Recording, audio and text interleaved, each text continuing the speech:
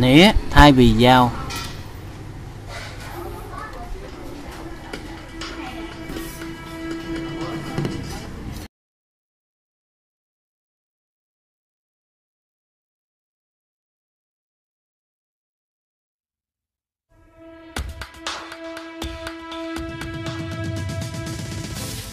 Ngày nay mỗi người Mỹ bình quân bị thừa 10,4 kg. Các bệnh về tim mạch và đột quỵ sẽ lấy đi mạng sống của 460.000 phụ nữ Mỹ. 69 gram chất béo. Bạn có thể giảm được 12 gram chất béo và một nửa lượng calo nếu bạn ăn hết một lát bơ. Chúng ta đang nói về bệnh tiểu đường và chứng cao huyết áp, các bệnh về xương, chứng loãng xương. Ung thư tuyến tiền liệt hiện là bệnh ung thư phổ biến nhất ở đàn ông Mỹ. Các bác sĩ nói rằng chúng ta thực sự cần phải giảm ăn thịt đỏ và thịt đã qua chế biến và sơ vữa động mạch và ung thư và các chứng bệnh đề kháng. Số lượng trẻ em béo phì loại 2 hiện nay là chưa có tiền lệ và chúng ta bắt đầu chứng kiến bệnh cao huyết áp ở con em mình ngay từ trường tiểu học. Các bạn thắc mắc, đây là một 2.120 calo. Chế độ ăn uống phương Tây rõ ràng đang tàn hại nhiều sinh mạng. Điều này nên được xem như một hồi chuông cảnh tỉnh. Chúng ta có một vấn nạn đang tăng trưởng mà thủ phạm chính là chúng ta. Thức ăn, thức ăn là trung tâm của cuộc sống, là truyền thống của con người. Mọi dịp lễ đặc biệt đều có liên quan đến thức ăn và tiệc ăn. Nhưng có thể nào một vài trong số những thức ăn, gồm cả nhiều thức ăn mà chúng ta cho rằng tốt cho sức khỏe, cũng đồng thời đang gây ra những vấn đề sức khỏe nghiêm trọng. Thật vậy, chúng ta đang đối mặt với một cuộc khủng hoảng sức khỏe trầm trọng. Không dưới 40% người Mỹ ngày nay bị béo phì. Và một khoảng nữa trong số chúng ta đang phải uống thuốc kê đơn. Thuốc Lilutor giảm cholesterol là loại thuốc được kê đơn nhiều nhất trên thế giới. Gần như 1% trong số trẻ 4 tuổi ở Mỹ hiện nay bị béo phì. Dù vậy, trẻ em Mỹ gốc Mexico và trẻ em Mỹ gốc Phi vẫn có khả năng bị thừa cân. Tây có thể là thế hệ đầu tiên của con cái chúng ta. Ở Mỹ có tuổi thọ thấp hơn bố mẹ của chúng. Chúng ta tốn 2,2 nghìn tỷ đô la mỗi năm cho chi phí y tế, cao hơn gấp 5 lần so với ngân sách quốc phòng. Trên thực tế, chi phí chăm sóc sức khỏe bình quân theo đầu người ở Mỹ cao hơn so với bất kỳ nước công nghiệp nào khác trên thế giới, nhưng chúng ta vẫn mắc nhiều bệnh hơn bao giờ. Bạn thấy đấy, không thể làm tiền từ người khỏe mạnh được và cũng không thể nào làm tiền từ người chết. Chỉ có thể làm tiền những người ở loại giữa, những người đại loại vẫn còn sống, nhưng đang mang trong mình một hay nhiều bệnh kinh niên, bệnh béo phì, bệnh tiểu đường, bệnh tim, chứng cao huyết áp đều có liên quan đến chế độ ăn uống và tiêu tốn nước nước này hơn 120 tỷ đô la mỗi năm. Cứ mỗi phút lại có một người Mỹ chết bởi bệnh tim. 1.500 người chết vì ung thư mỗi ngày. Cộng lại hai căn bệnh này lấy đi sinh mạng của hơn một triệu người Mỹ mỗi năm. Số ca tiểu đường đang tăng vọt, đặc biệt là ở trong giới trẻ. Bệnh tiểu đường, bệnh tiểu đường, bệnh tiểu đường đe dọa mạng sống. Một phần ba số người sinh ra ở Mỹ ngày nay sẽ mắc chứng bệnh nguy hại này trong đời. Hàng triệu người khác phải chịu đựng những chứng bệnh ngày càng nguy hiểm hơn.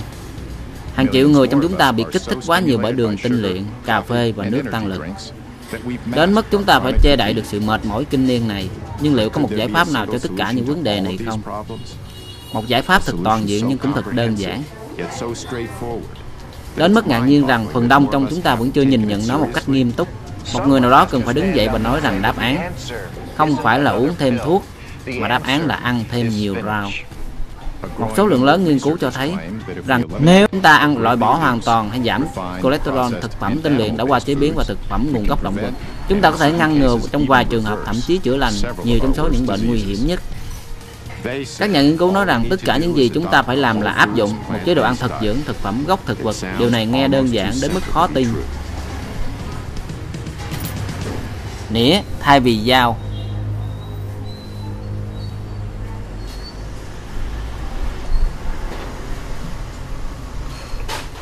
Bạn có thể sẽ không ngờ một người như tôi lại đi khám phá mối liên hệ giữa chế độ ăn uống và bệnh tật. Trên đường đến đây tôi uống hai lon Red Bull này. Tôi cũng đã uống một lon coca và một nửa lon coca khác. Tôi đã không luôn sống theo cách lành mạnh nhất và tôi đã ăn quá nhiều đồ ăn nhanh. Nhưng để hiểu thêm về mối liên hệ giữa thức ăn và sức khỏe, tôi đến gặp hai bác sĩ ở Los Angeles bác sĩ Matt Lederman, bác sĩ Alona Puri. Anh khỏe chứ? Ô, oh, Ferguson rất vui được gặp anh, tôi cũng rất vui được gặp anh. Tôi đây là bác sĩ Puri, hân hạnh được gặp chị. Hai người đều có bằng bác sĩ. Bác sĩ Lederman chuyên khoa nội. Bác sĩ Puri chuyên về chữa bệnh tại gia. Một chế độ ăn thực dưỡng được họ đưa vào trong trị liệu của bệnh nhân. Được rồi, hãy bắt tay vào việc. Rồi chúng ta nói chuyện sau. 142 trên 82. Tôi thấy ra được nhiều hơn mong đợi. Cũng như nhiều người Mỹ, tôi cứ nghĩ là sức khỏe bản thân cũng khá tốt. Tôi không có chứng bệnh nặng nào trong người. Nhưng lâu rồi tôi vẫn chưa được khám sức khỏe tổng quát nên tôi quyết định đi khám. Khi bác sĩ Lehman đưa tôi kết quả, nó thực sự là một hồi chuông cảnh tỉnh. Tôi phải thú thật rằng tôi bị choáng. Tôi thực sự lo lắng về các chỉ số máu của mình. Lượng cholesterol 240 và 241 là cao hơn rất nhiều so với trước đây. Tôi có con số 6 này. Đây là con số làm tôi lo nhất. Còn số 6 là kết quả của xét nghiệm CRP, đo độ viêm của tim và mạch máu trong cơ thể tôi. Tôi nằm trong danh sách những người có nguy cơ bị đau tim cao. Vì vậy tôi biết tuân theo chương trình trị liệu dinh dưỡng 12 tuần dưới sự giám sát của bác sĩ Lenderman. Kế hoạch ở đây là chữa những vấn đề sức khỏe của tôi bằng một chế độ ăn thực dưỡng thực phẩm gốc thực vật. Hãy để thức ăn trở thành thuốc chữa bệnh của người. Hippocrates Ý tưởng về sử dụng dinh dưỡng để có sức khỏe tốt cũng không có gì mới. Thật vậy, Hippocrates, ông tổ của học phương Tây, nói rằng hãy để thức ăn trở thành thuốc chữa bệnh của người hơn 2.000 năm trước. Thế nhưng cho đến mãi gần đây, tính khoa học của quan điểm trị liệu này mới được kiểm tra và vận dụng một cách có hệ thống. Hai nhà nghiên cứu có đóng góp đột phá cho nỗ lực này là tiến sĩ Colin Campbell và bác sĩ Caldwell Austin. Sinh chỉ cách nhau vài tháng trong những năm 1933 và 1934, cả hai đều lớn lên từ nông trại. Nông trại tuổi thơ của Campbell nằm ở vùng nông thôn Virginia, nơi mà gia đình ông nuôi gia súc lấy sữa và bò sữa. Bố mẹ tôi chuyển đến đây vào năm 1943 khi tôi mới đến 9 tuổi. Chúng tôi có một nông trại lấy sữa và khoảng 20-30 con bò. Nông trại thuộc cỡ trung bình khá khiêm tốn. Vào thời đó, sữa bò được cho là thức ăn hoàn hảo của thiên nhiên. Hoàn hảo đến mức mà bộ phim này của chính quyền Mỹ ở đầu thế kỷ 20 khuyến nghị rằng trẻ sơ sinh mới cài bú sữa mẹ nên được chuyển sang uống sữa bò ngay lập tức. Thật hào hứng khi sản xuất ra thực phẩm hoàn hảo nhất của thiên nhiên. Thành lập vào năm 1675, nông trại Einstein nằm ở phía bắc New York. Trên những cánh đồi thoai thoải này, họ chăn nuôi cả bò và gia súc lấy sữa. Nơi đây là trung tâm đầu não của cả nông trại đúng không? Đúng rồi, gần như là vậy. Đây là đường chu vi chạy quanh nhà kho này. Đây là cách chúng tôi chăn nuôi vào thời đó. Và đây là nơi mà ông học cách làm thủ công và thương mại, thương mại nông nghiệp. Ông chuyển đến đây vào năm bao nhiêu tuổi? 7. Mãi đến năm lên 8, tôi mới bắt đầu lái xe công nông. Cũng hơi muộn đấy phải không? Ừ đúng rồi. Nhưng bù lại tôi thích việc đó và tôi thực sự đam mê công việc nông trại. Dù họ vẫn chưa biết nhau, Cuộc sống ở nông trại đã có ảnh hưởng sâu sắc đối với cả Campbell và Austin. Để thành công bạn cần có lòng kiên tâm và sự bền bỉ quyết giữ vững mục tiêu. Thật buồn cười khi mà cả hai chúng tôi giờ đây đều đang ủng hộ cho việc không tiêu thụ những sản phẩm mà chúng tôi một thời từng sản xuất cùng gia đình. Vào thời của Campbell và Austin, chế độ ăn uống của người Mỹ đã thay đổi đột ngột. Gần đầu thế kỷ 20, mỗi người Mỹ ăn khoảng 55 kg thịt mỗi năm. Đến năm 2007, con số này bùng nổ thành không dưới 101 kg. Vào khoảng năm 1913, chúng ta ăn khoảng 19 kg đường tinh luyện mỗi năm. Tuy nhiên, đến năm 1999, lượng tiêu thụ chất làm ngọt qua tinh chế của chúng ta đã vượt quá 67 kg. Vào năm 1909, mỗi người Mỹ tiêu thụ khoảng 133 sữa bò phô mai bơ. Đến năm 2006, lượng tiêu thụ sữa bò và phô mai bơ đã tăng hơn gấp đôi thành 275 kg. Vào đầu thập niên 50, Carbo đến học tại trường Penn State. Còn Einstein vào trường Yale.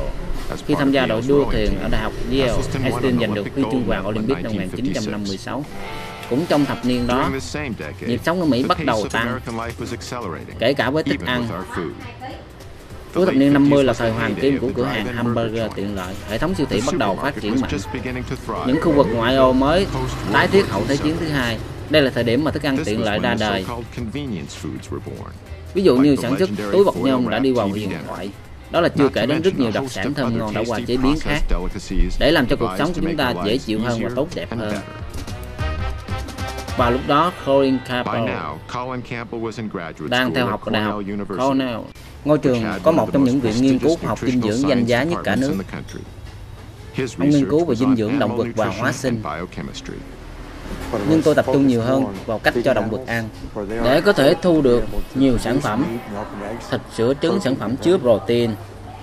Vì vậy, nghiên cứu của tôi chủ yếu tập trung vào protein để đảm bảo rằng chúng ta hấp thụ đủ protein.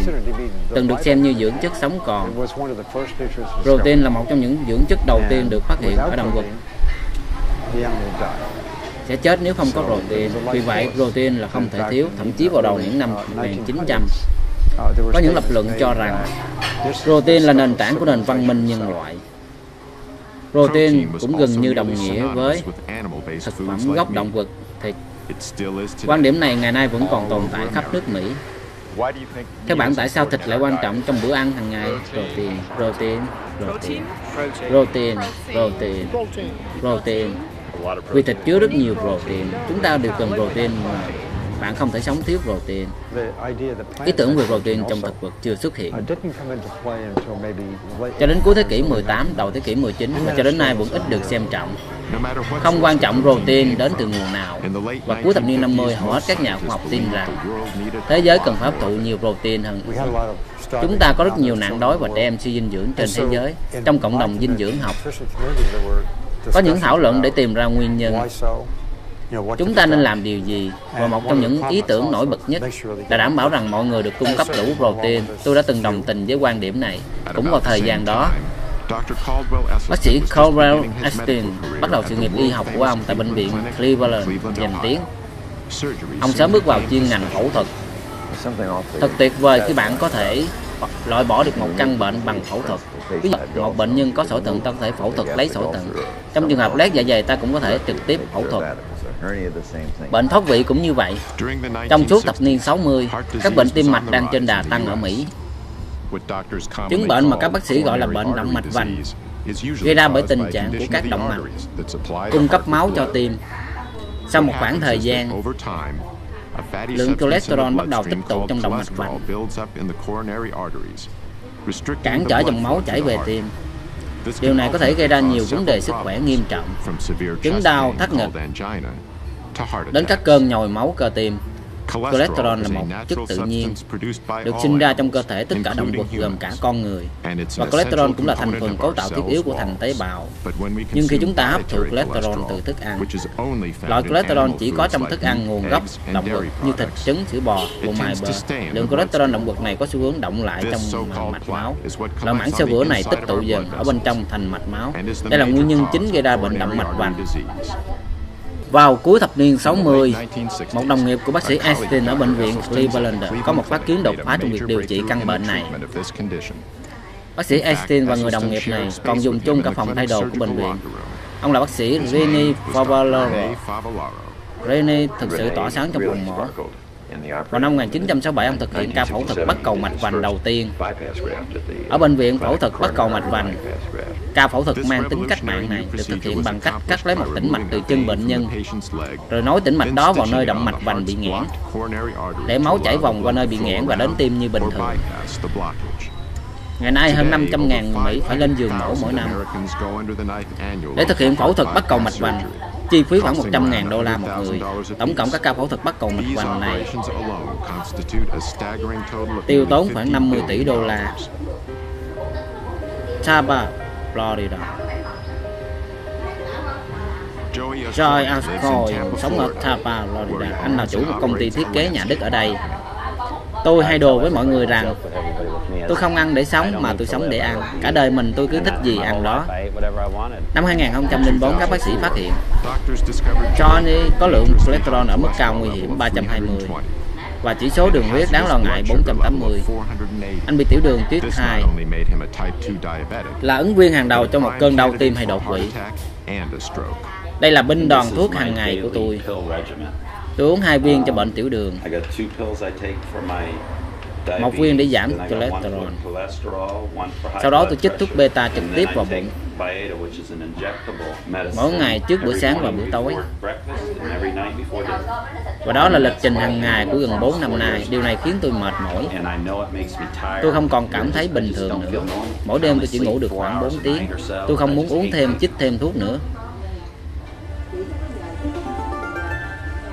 Vào giữa thập niên 60, tiến sĩ Campbell đang ở Philippines.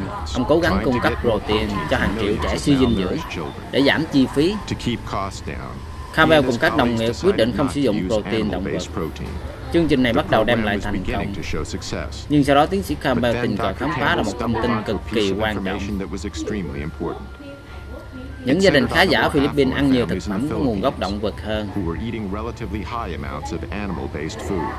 Nhưng đồng thời con cái của họ cũng có xu hướng mắc bệnh ung thư gan cao hơn. Điều này thật khác thường vì ung thư gan hầu như chỉ có ở những người trưởng thành, nhưng thực tế đến trẻ em cũng mắc bệnh này. Cho thấy có điều đó không ổn, điều này khá là quan trọng. Không lâu sau, tiến sĩ Campbell Tình cờ đọc được một báo cáo khoa học do tạp chí y học Ấn Độ công bố. Báo cáo mô tả chi tiết nghiên cứu được tiến hành trên hàng loạt chuột thí nghiệm. Những con chuột này đầu tiên được tiếp xúc với aflatoxin, chất gây ung thư. Sau đó chúng được cho ăn và chế độ giàu canxi. Họ đang kiểm tra sự ảnh hưởng của protein đến sự phát triển của bệnh ung thư gan. Họ sử dụng hai lượng protein khác nhau. Họ sử dụng 20% tổng lượng calo, rồi sau đó sử dụng một lượng thấp hơn trước nhiều 5%. 20% kích hoạt ung thư, 5% mất ung thư. Báo cáo khoa học Ấn Độ này cùng với những gì tiến sĩ Campbell nghiên cứu được về sự gia tăng ung thư ở trẻ em do ăn thực phẩm nguồn gốc động vật dẫn đến một thời khắc quyết định. Trong cả cuộc đời và sự nghiệp của ông, vì chúng tôi biết được rằng protein động vật là nhân tố kích thích kích hoạt ung thư. Cũng trong thời gian đó, cách ăn uống của người Mỹ lại thay đổi. Số lượng bữa hàng thức ăn nhanh bùng nổ. Người Mỹ ngày càng bận rộn hơn và bắt đầu dùng thức ăn nhanh vì sự tiện lợi cho bản thân cũng như gia đình. Trong lúc cuộc cách mạng đồ ăn nhanh đang lan ra khắp nước, tỷ lệ tử vong ung thư cũng đang tiếp tục tăng. Kết quả vào năm 1971, Tổng thống Richard Nixon đã phát động cuộc chiến chống ung thư. Hôm nay chúng ta có mặt ở đây và để ký đạo luật về ung thư năm 1971 và tôi hy vọng rằng trong những năm tới, khi chúng ta nhìn lại ngày hôm nay, hành động này sẽ là thành quả quan trọng nhất đạt được trong nhiệm kỳ của tôi. Ở tiền tuyến cuộc chiến này là bác sĩ Carl Epstein. Vào năm 1978, ông là chủ tịch Hiệp hội điều trị ung thư vú ở bệnh viện Cleveland, nhưng ông sớm bắt đầu nghi ngờ phương pháp trị liệu mà ông mình đang sử dụng. Bất kể thực hiện được bao nhiêu cuộc phẫu thuật cho bệnh nhân ung thư vú, tôi vẫn không thể giúp được gì cho những nạn nhân tiếp theo. Vì vậy, bác sĩ Einstein đã bắt đầu điều tra, thống kê toàn cầu về ung thư vú. Một trong những điều ông khám phá được là tỷ lệ ung thư vú ở Kansas thấp hơn rất nhiều so với ở Mỹ. Trên thực tế vào năm 1978, tỷ lệ phụ nữ mắc bệnh ung thư vú ở Kansas thấp hơn 82 lần so với ở Mỹ. Bác sĩ Einstein còn ngạc nhiên hơn bởi thông số thống kê của loại ung thư khác trong khắp nước Nhật vào năm 1958. Có bao nhiêu ca tử vong vì ung thư tuyến tiền liệt? 18. Cả một nước mà chỉ có 18. Đó là chỉ số sức khỏe cộng đồng khó tin nhất mà tôi từng gặp. Trong cùng năm đó, dân số Mỹ chỉ gấp đôi dân số Nhật. Nhưng số ca tử vong vì ung thư tuyến tiền liệt hơn 14.000. Bác sĩ Einstein cũng phát hiện ra rằng vào đầu thập niên 70 tỷ lệ mắc bệnh tim ở vùng nông thôn Trung Quốc thấp hơn 12 lần so với ở Mỹ. Và ở vùng đảo Papua New Guinea gần như không có ca bệnh tim nào. Mối liên hệ những khu vực trên rất dễ hiểu. Chế độ ăn uống phương Tây gần như không tồn tại những nơi đó. Họ không ăn những sản phẩm động vật, họ không uống sữa bò, không ăn thịt. Có một số tài liệu lịch sử thậm chí còn thuyết phục hơn. Vào Thế chiến thứ hai, quân Đức chiếm đóng Na Uy. Hành động đầu tiên của người Đức là tịch thu tất cả gia súc gia cầm ở các địa phương để phục vụ cho quân đội. Người Na Uy buộc phải ăn chủ yếu thực phẩm gốc thực vật. Hãy xem số ca tử vong ở Na Uy. Sát trước giai đoạn này, số ca tử vong vì đau tim và đột quỵ. 1927, 1930, năm 1935 Nhìn vào ngày này, nhìn kỹ năm 1939 Bingo quân Đức có mặt. Ngay lập tức năm 1940 Wow, 41, 42, 43, 44, 45 Đã khi nào bạn chứng kiến một đất nước giảm được số bệnh? tim mạch nhanh như vậy Nhờ thuốc Start hay nhờ phẫu thuật bắt cầu mạch vành hay nhờ ghép ống đỡ mạch vành. Không. Nhưng hãy nhìn vào những gì xảy ra tức thì.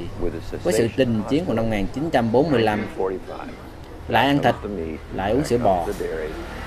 Lại tăng đau tim và đột quỵ. Đây là một bài học quá rõ ràng và thiết thực. Nhưng chúng ta vẫn không chịu tiếp thu vì những bằng chứng như thế này Bác sĩ Estin đã thực hiện một bài đánh giá tương tự. Tiến sĩ Campbell về nghiên cứu của ông ở Philippines cho thấy mối liên hệ giữa thực phẩm nguồn gốc động vật với các chứng bệnh chết người. Một nhà nghiên cứu khác cũng đưa ra kết luận tương tự. Bác sĩ John McDougall vào giữa thập niên 70, ông bắt đầu nghiên cứu tới nông trường mía ở trên đảo Hawaii. Điều tôi quan sát đây là sức khỏe con người. Thay đổi đột ngột dựa theo thời gian họ sống ở Hawaii. Những người được nuôi dạy ở Nhật, Philippines, Hàn Quốc, Trung Quốc thế hệ ly hương đầu tiên. Có thân hình thon thả không bao giờ mắc bệnh tim. hay ung thư tuyến tiền liệt ung thư ruột kết ung thư vú hay viêm khớp mãn tính đa sơ cứng. Không bao giờ thừa cân. Họ sống đến 80 90 mà vẫn sinh hoạt bình thường con cái của họ mập hơn bệnh tật nhiều hơn. Con cháu của họ trong thế hệ tới cũng mập hơn và bệnh tật nhiều hơn như ai cũng thấy. và điều rõ ràng là sự khác biệt trong chế độ ăn uống. Thế hệ đầu tiên học được chế độ ăn gạo và rau củ từ quê hương họ. nhưng con cái của họ bắt đầu bỏ ăn gạo theo đó ăn bằng những thức ăn nguồn gốc động vật sữa bò phô mai các loại thịt. và kết quả cũng dễ thấy. con cháu của họ mập hơn mắc nhiều bệnh. Vì vậy tôi hiểu được nguyên nhân gây ra hầu hết bệnh tật Tuy nhiên vào lúc đó tiến sĩ Campbell và bác sĩ Einstein hầu như không biết gì về thông tin này. Nhưng cuối cùng họ đã đi đến một kết luận mang tính cách mạng. Đó là nhiều căn bệnh nguy hiểm có thể được làm giảm đáng kể hay chữa lành hoàn toàn.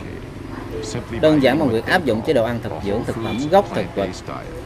Điều này đồng nghĩa với dùng thức ăn từ cây trồng tươi sạch và ít qua chế biến như trái cây, rau củ, ngũ cốc, các loại đậu và cũng tránh các loại thức ăn nguồn gốc động vật như thịt, sữa bò và trứng cũng như thực phẩm đã qua chế biến như bột mì, tẩy trắng, đường tinh luyện và dầu ăn. Theo nghiên cứu của tiến sĩ Campbell và bác sĩ Einstein trong lĩnh vực này đã thay đổi cuộc đời họ mãi mãi. Người bác sĩ trong tương lai sẽ không còn chữa bệnh bằng thuốc mà người bệnh bằng dinh dưỡng. Thomas Edison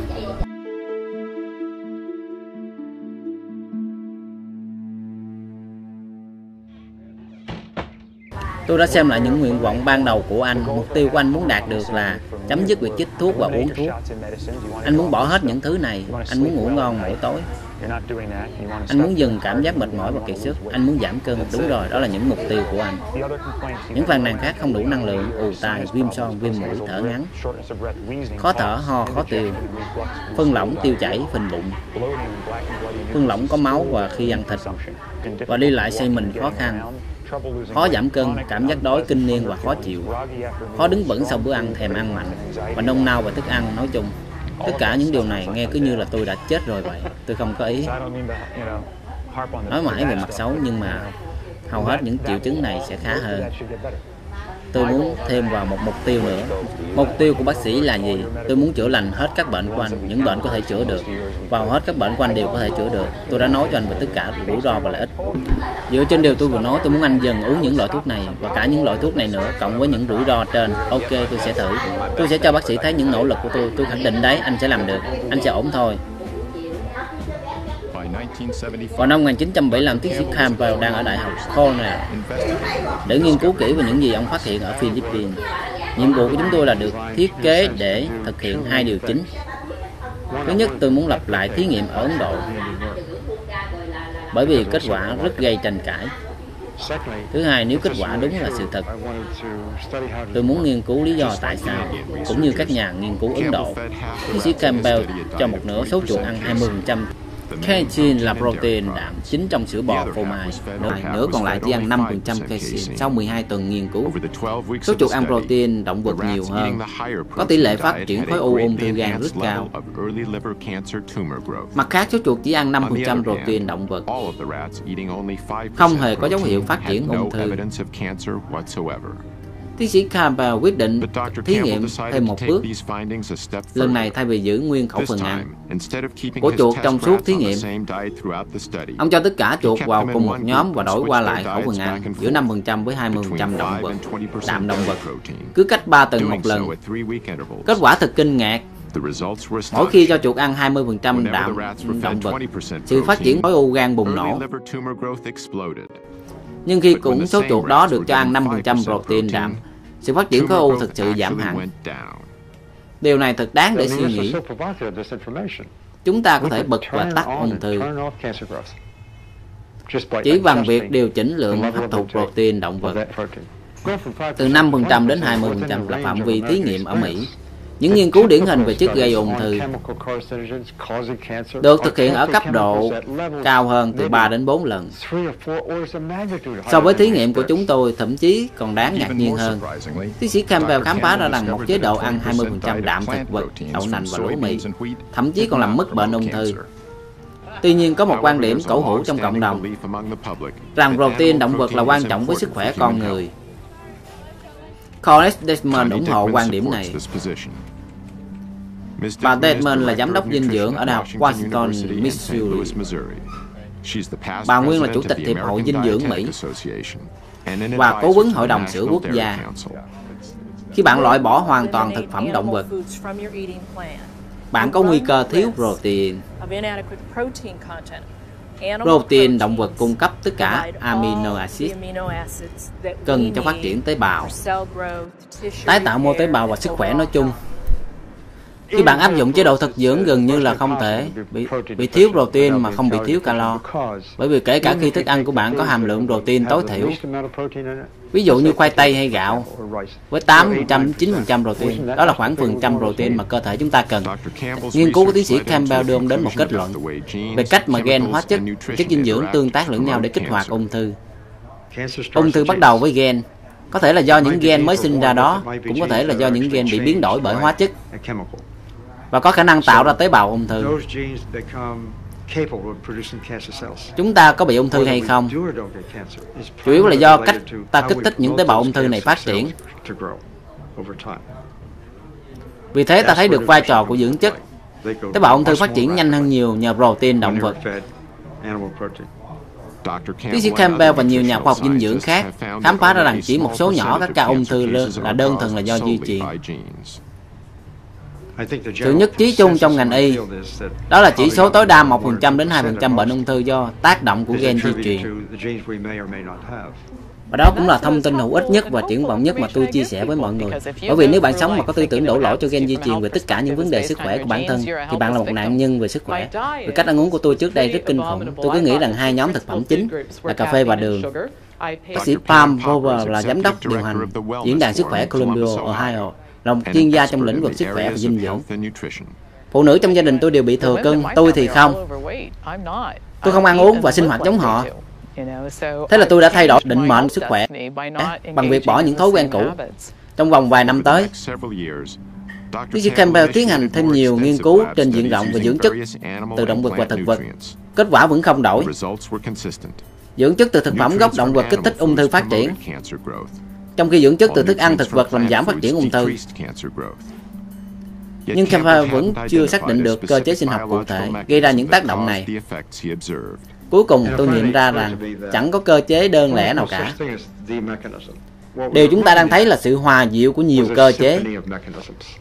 Chúng ta nghĩ rằng dinh dưỡng là nạp từng chất vào người và đó là cách mà dưỡng chất được tiếp thị là điều mà chúng ta nghe từ các công ty. Trên thực tế tất cả những dưỡng chất phối hợp cùng nhau tạo thành một bản hòa âm hàng trăm đến hàng ngàn chất có trong các loại thực phẩm.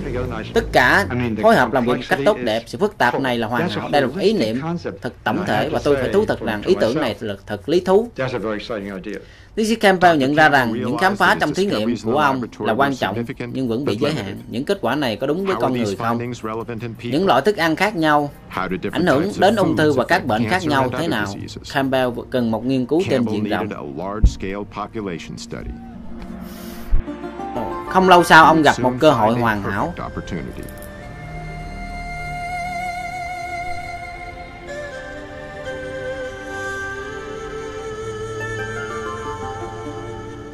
Xoài sự rất ngon. Và tạo mùi thức ăn rất tốt. Ok được đấy. Anh nên lựa quả chín hơn. Bác sĩ Matt Lederman và vợ ông là Alona Pudi là hai trong số nhiều bác sĩ sử dụng chế độ ăn thực dưỡng thức ăn gốc thực vật làm trị liệu chính cho bệnh nhân từ việc đi mua sắm với bệnh nhân để chỉ cho họ cách đọc thông tin dinh dưỡng trên bao bì. Tôi không quan tâm bao bì ở phía trước phía sau hai bên không nói gì nhìn kỹ vào thành phần. Đó là tất cả những gì tôi quan tâm để hướng dẫn cho bệnh nhân cách chuẩn bị bữa ăn. Họ không phải là bác sĩ thông thường. Bác sĩ Leleman và Pudi sử dụng thức ăn làm thuốc bởi vì họ biết rằng đó là thứ thuốc tốt nhất. Một thứ thuốc không chỉ làm cho bệnh nhân khỏe hơn, mà còn thực sự cải thiện cuộc sống của họ. Vào năm 1973, Quốc hội Mỹ thông qua dự luật trợ giá nông nghiệp. Dự luật này khuyến khích sản xuất đại trà cây bắp. Một trong những phụ phẩm thu được từ quá trình trồng bắp là một chất làm ngọt giá rẻ gọi là siro bắp hàm lượng đường cao. Công ty thực phẩm có thể cho chất làm ngọt vào bất kỳ thứ gì và bán những sản phẩm này với giá rẻ. Đường tinh luyện và thực phẩm qua chế biến khác có mật độ calo lớn hơn nhiều so với cây trồng nguyên liệu làm ra chúng. Việc tăng cường sử dụng đường tinh luyện là nguyên nhân chính làm cho thức ăn chứa nhiều đường hơn. Theo lời giáo sư Douglas, nhà tâm lý học, tác giả chứa danh, sự tiêu thụ thực phẩm mang nhiều chất không tự nhiên là nguyên nhân chính dẫn đến bùng phát béo phì ở Mỹ. Không phải vì con người sống ngày càng buông thả hơn, cũng không phải vì họ lười biếng hơn trước đây, mà là vì cơ chế báo no của họ đang bị đánh lừa. Quá trình báo no bắt đầu với một lượng thụ thể ở dạ dày giúp chúng ta đo lượng thức ăn đã nạp vào. Quá trình này bao gồm thụ thể co giãn để đo lượng thức ăn thô trong dạ dày. Chúng ta còn có thụ thể đo mật độ để giúp đo tỷ trọng calo trong thức ăn, hay còn gọi là độ béo của thức ăn. Ví dụ 500 calo thức ăn thực vật tự nhiên. lấp đầy dạ dày hoàn toàn, kích hoạt thụ thể co giãn và thụ thể mật độ, báo hiệu lên não rằng chúng ta đã ăn đủ. Nhưng 500 calo thức ăn qua chế biến hay không tự nhiên lấp dạ dày ít hơn nhiều, đánh lừa những thụ thể và báo với não bộ rằng ta cần phải ăn nhiều hơn. Thậm chí còn tệ hơn nữa là 500 calo dầu mỡ. Vốn đa phần là chất béo và gần như không kích hoạt các thụ thể. Vấn đề trong việc kiểm soát cân nặng ở người đó là khi thức ăn của bạn hoàn toàn nhân tạo. Như ngày nay, con người buộc phải ăn quá mức chỉ để được thỏa mãn. Nhưng tại sao những thức ăn chế biến này vừa độc hại lại vừa cám dỗ đến như vậy? Bác sĩ Lizer nói rằng câu trả lời rằng liên quan đến một hệ thống được gọi là tổ hợp động lực. Đây gọi là bộ ba cơ chế sinh học mà tự nhiên đã thiết kế cho mọi sinh vật trên trái đất với mục đích sinh tồn và truyền lại bộ gen cho thế hệ sau. Thành phần đầu tiên của tổ hợp động lực là tìm kiếm lạc thú và hai yếu tố chính ở đây là tình dục và thức ăn. Trong trường hợp của một con cá mập trắng, nó gần như có một bảng đèn neon chớp tắt trước trán với nội dung thức ăn, giao phối, thức ăn, giao phối, thức ăn, giao phối. Với công đực sẽ là giao phối, thức ăn. Cũng gần như nhau. Hai thành phần còn lại của tổ hợp động lực là tránh đau đớn và làm mọi việc theo cách ít tốn công sức nhất để tìm kiếm lạc thú và tránh đau đớn và tiết kiệm năng lượng. Đó là hành vi động vật tổng quát từ vi sinh vật dưới kính hiển vi cho đến cá mập trắng. Thực phẩm nhiều chất béo kích thích các giác quan của chúng ta bởi đó là cách thông báo tự nhiên rằng chúng ta sẽ hấp thụ được lượng dưỡng chất nhiều hơn ít công sức bỏ ra. Điều này giúp tổ tiên chúng ta tìm nguồn thức ăn giàu calo nhất và trái cây chính nhất có thể để góp phần vào quá trình sinh tồn. Nhưng ngày nay chúng ta có thể tăng lượng calo nhân tạo. Vượt xa những gì tổ tiên ta có thể tìm thấy trong tự nhiên. Kết quả là thức ăn mang lại một lượng cảm giác khoái lạc cao và đưa chúng ta vào cạm bẫy khoái lạc. Cái bẫy khoái lạc là sự tương tác giữa bản năng tự nhiên vốn là để nhắc nhở chúng ta làm điều đúng đắn với một sự kích thích giả tạo của thời hiện đại. Hiện đang lợi dụng những bản năng này. Một ví dụ kinh điển về cạm bẫy khoái lạc và chất kích thích việc những chất kích thích chất kích thích gây nghiện bằng cách mượn và tái tạo lại cảm giác hưng phấn. Chất hóa học một khi tác động vào những khu vực này sẽ gây ra cảm giác hạnh phúc và hưng phấn mạnh. Tác động tương tự của chất gây nghiện xảy ra khi chúng ta ăn thực phẩm nhiều chất béo đã qua chế biến. Chúng ta loại bỏ chất xơ, chúng ta loại bỏ nước, chúng ta làm tất cả, loại bỏ khoáng chất để tăng hàm lượng đường, chất béo và cho thêm một đống muối vào thức ăn. Đồ ăn nhanh ngày nay đã trở thành chất gây nghiện giá rẻ. Thức ăn nhanh là chất gây nghiện với nhiều tác dụng phụ nguy hại khác. Ngoài việc đưa calo rỗng vào cơ thể, bác sĩ Terry Morrison và ủy viên Hiệp hội Sức khỏe ở Chicago Ông là một trong số công chức ở Mỹ công khai ủng hộ chế độ ăn thực vật. Nếu nó đi được, nhảy được, bò được, trường được, có hai mắt, có mẹ, có bố thì đừng ăn nó. Bác sĩ Marston khẳng định rằng giới lao động trong xã hội khó có thể lựa chọn thực phẩm tốt. Đầu tiên, chế độ ăn uống của họ có nhiều calo, ít dinh dưỡng. Đây chính là vấn đề và không mai thai những người nghèo họ nghèo về mọi mặt. Họ nghèo về sức khỏe, họ nghèo cả về lựa chọn thực phẩm. Họ nghèo về gần như mọi khía cạnh trong cuộc sống. Điều này làm cho từng lớp nghèo đặc biệt dễ xa vào nghiện nhập thức ăn nhanh rẻ tiền. Người ta muốn mọi thứ phải nhanh, người ta muốn mọi thứ phải gọn. Và họ đều thích những thứ mặn mặn. Và họ thích mùi vị của những thứ được chiên giòn. Đó là những loại thức ăn mà bạn thấy trong cộng đồng của chúng ta.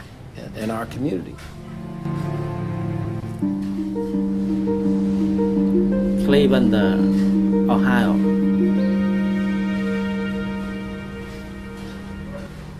Sandra Nelson sống trong một khu ngoại ô yên tĩnh ở Cleveland, Ohio, cùng năm người con vào tháng 10 năm 2008. Cô mắc một căn bệnh lạ.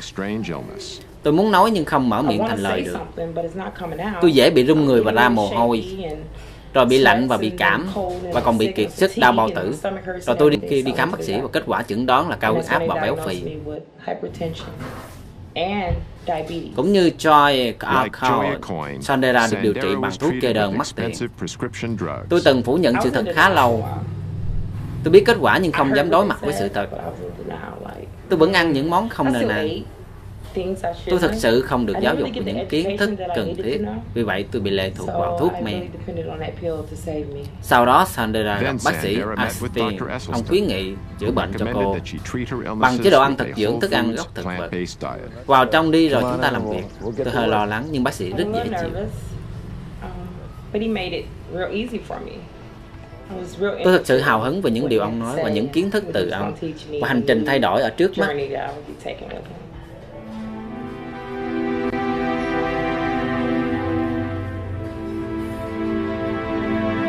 Ai uống thuốc mà phớt lờ chế độ ăn uống thì chỉ làm phí thời gian của bác sĩ. Tục ngữ Trung Quốc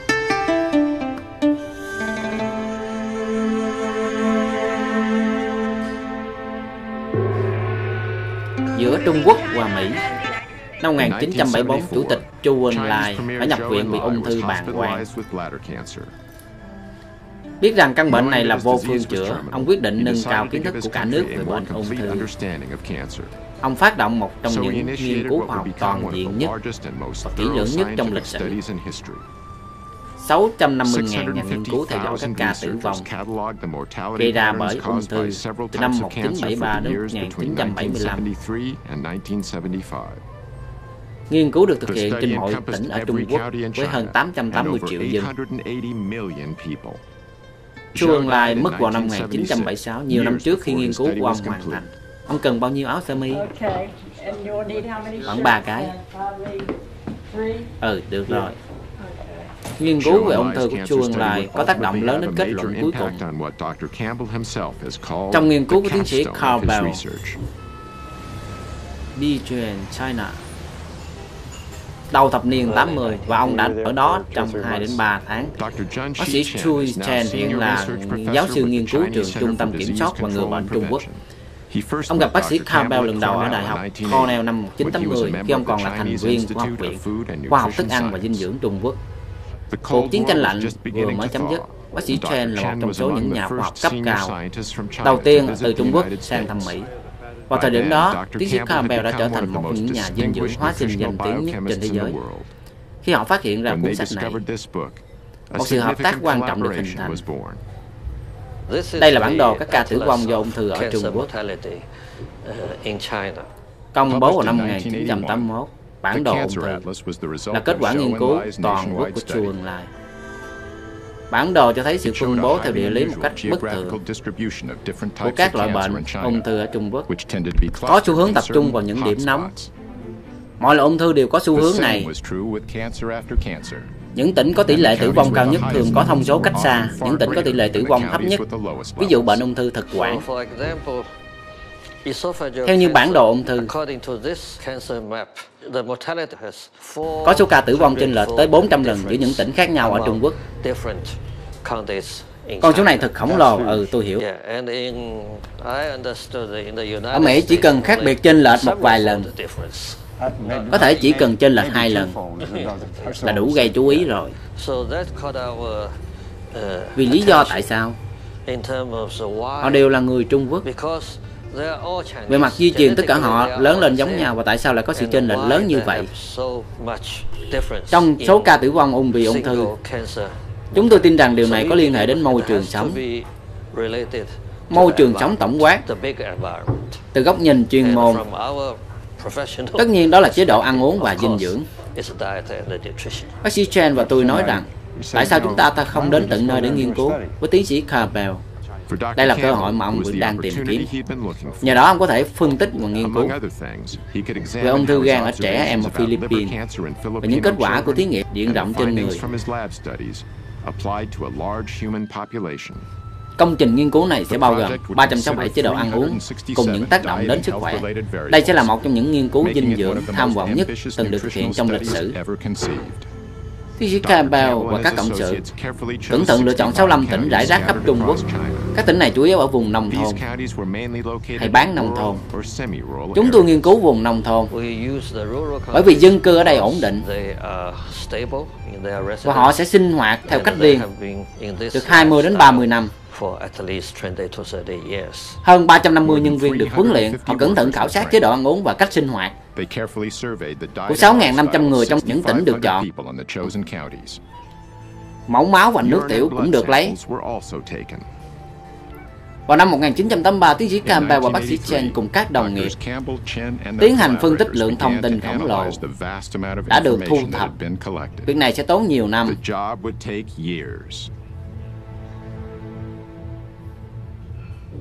Sau 8 tuần ăn thực phẩm nguồn gốc thực vật, Soy Arco vẫn hoàn toàn ngừng uống thuốc. Khi mới bắt đầu tôi bị nhiều tác dụng phụ vì thuốc men và tình trạng sức khỏe kém. Nhưng giờ đây tôi cảm thấy khá hơn nhiều và cơ thể cũng gọn hơn. Tôi thấy khỏe hơn. Tôi hiếm khi bị mệt trong ngày và lúc nào cũng ta cảm thấy thoải mái. Đây là cái cân tôi hay dùng. 8 tuần trước tôi nặng khoảng 100 kg. Bây giờ chỉ còn 82 kg. Chẳng còn thắt lưng nào vừa. Tôi còn phải đục thêm. Hai lỗ mới một cái thắt lưng mới này vì tôi quá thích nó. Chẳng còn thứ gì vừa tôi phải sắm thêm đồ. Tất cả quần áo cũ cũng không vừa.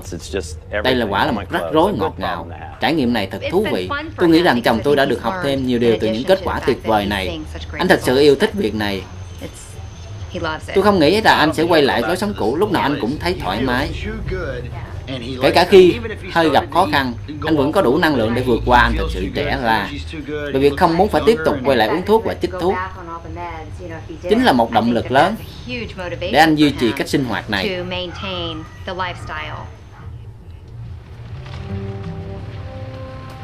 Vào giữa thập niên 80, bác sĩ Carl Epstein đang ra sức tiến hành một nghiên cứu về bệnh động mạch vành Kế hoạch của ông là cho một nhóm bệnh nhân áp dụng chế độ ăn ít chất béo và thực phẩm gốc thực vật cùng với số lượng nhỏ sữa bò ít béo và thuốc giảm cholesterol ở mức tối thiểu.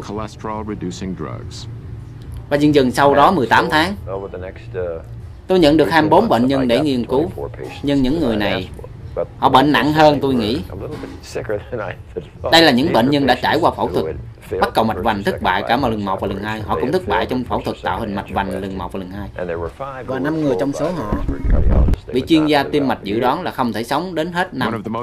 Một trong những người bệnh nặng nhất là một giáo viên giao tiếp và ngôn ngữ 59, bà Everly Oakwich, ăn sô-cô-la và bánh kẹo thỏa thích.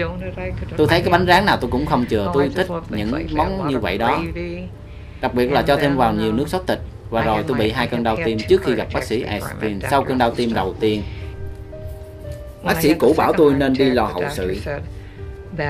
Ông ta thực sự nói như vậy và tôi nhìn ông rồi nói, ý ông có phải là tôi nên đi mua một cái ghế đu rồi ngồi đông đưa chờ chết đúng không? Rồi ông bác sĩ nhìn tôi và nói, đúng rồi, đó chính xác thì điều tôi muốn nói.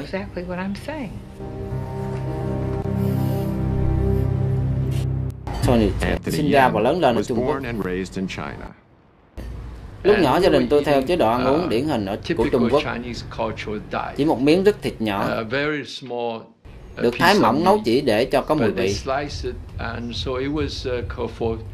Khác với cách ăn của người Mỹ, khi dùng bữa bạn ăn một miếng thịt lớn đến mức đủ nuôi sống cả một gia đình Trung Quốc.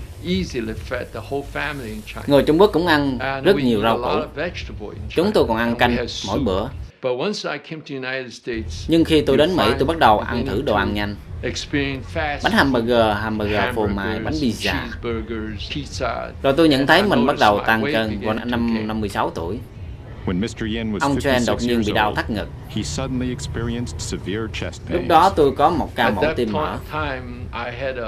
Tôi phải phẫu thuật bắt cầu mạch vành đến 5 lần. Nhưng cũng rất thú vị. Khoảng một tuần sau phẫu thuật, tôi thấy bị đau tim trở lại. Rồi tôi cùng vợ đến gặp bác sĩ Tôi gặp riêng các bệnh nhân từng người một. Cứ hai tuần một lần trong 5 năm đầu. Mỗi lần như vậy, chúng tôi lại lấy mẫu cholesterol, đo huyết áp cân nặng. Và tôi còn kiểm tra từng miếng ăn của họ bằng cách dùng những thức ăn đơn giản làm trị liệu chính cho bệnh nhân. Bác sĩ Einstein chống đối lại một cơ chế chữa bệnh tối tân và đắt đỏ. Đã ăn sâu vào trong các siêu tập đoàn dược phẩm của cả nhà và cả nhà nước. Bạn biết đấy, sau lưng người ta gọi tôi là bác sĩ rau mầm, nhưng tôi vẫn luôn thích thử thách.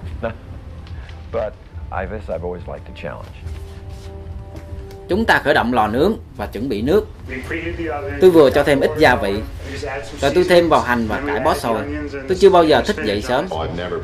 Và trước khi theo phương pháp trị liệu này, tôi cảm thấy tệ hơn bao giờ hết. Mỗi khi cần dậy sớm, tôi phải uống cà phê với coca và bò hút để có hứng làm việc. Chúng ta không làm món bún, nhưng chỉ cần anh nấu thật nhanh, rồi cho thêm rau vào. Đúng rồi, đúng rồi. Chúng tôi thực sự ăn nhiều hơn. Nhưng anh đang ăn đúng loại thức ăn và còn giảm được cân. Và anh cảm thấy khỏe hơn rất nhiều. Um, Bạn có thể thấy anh giảm mỡ rõ ở mặt và cổ và cả bụng nữa anh giảm được rất nhiều cân. và có nhiều năng lượng hơn. Bây giờ anh hãy dậy sớm hơn. Um, điều này thật tuyệt vì chúng tôi có thêm thời gian bên nhau. tôi chẳng phải xách món đồ nào cả vì anh là bác sĩ mà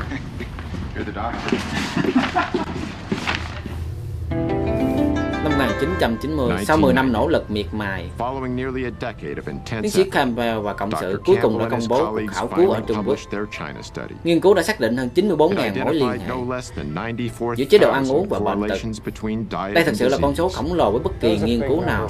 Và cuối cùng, chúng tôi nghiên cứu tất cả tương quan giữa các thức ăn và bệnh tật và nhìn vào những số liệu cực kỳ quan trọng. Con số này là khoảng giữa 8.000 và 9.000. Khi bạn có số lượng tương quan lớn và bắt đầu phân tích chi tiết từng số liệu thống kê.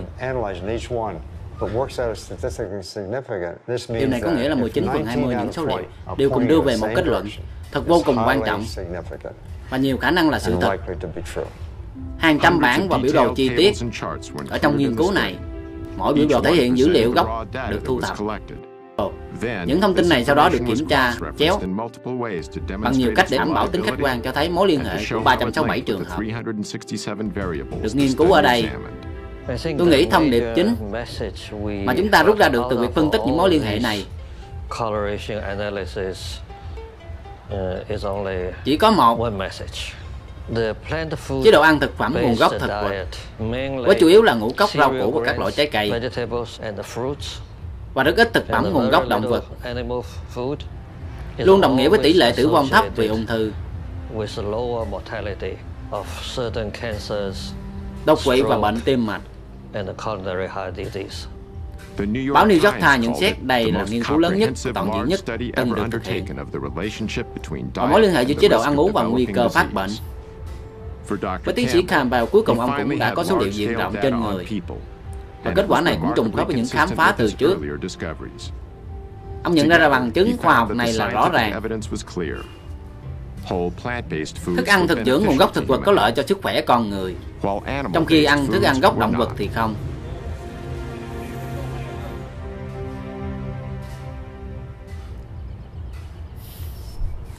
Hành trình tìm sức khỏe của cô Sandra khởi đầu không hề dễ dàng. Mới đầu rất khó khăn vì tôi quen với thức ăn nhiều chất béo và dầu mỡ trong 38 năm.